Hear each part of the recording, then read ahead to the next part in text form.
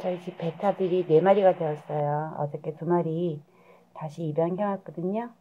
얘네들 얼마나 컸는지 구경해 보세요. 얘들아 밥 먹자. 밥 먹는 모습이 너무 잘 먹죠.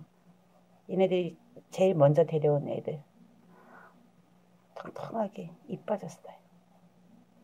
자, 너도 먹자. 얜 여자예요.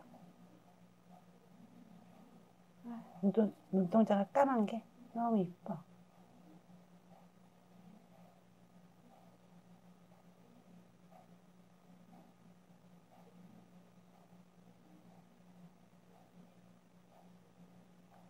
자, 얘네들은 어떻게 새로운 애들.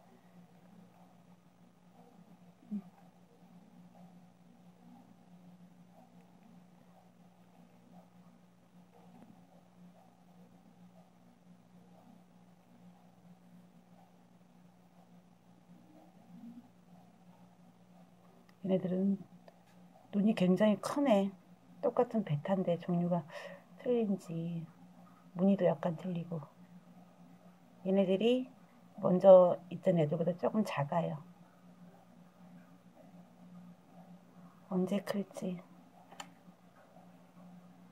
아, 다 먹어. 얘네들 어저께 굶었으니까.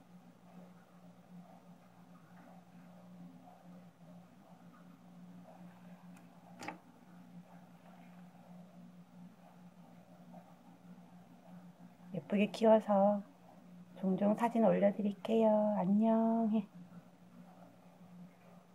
너도 하나 더 먹어. 내가 조금 줬지? 너 다이어트 시킨다고? 여자라? 뭐 기분이다. 너도 하나 더 먹어. 수컷. 오케이. 안녕히 계세요. 인사해.